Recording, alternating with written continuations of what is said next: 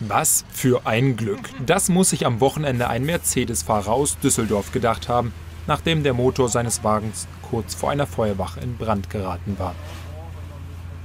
Er stellte den Wagen ab und hoffte auf schnelle Hilfe, doch bei dem Gebäude vor ihm handelte es sich nur um eine Rettungswache.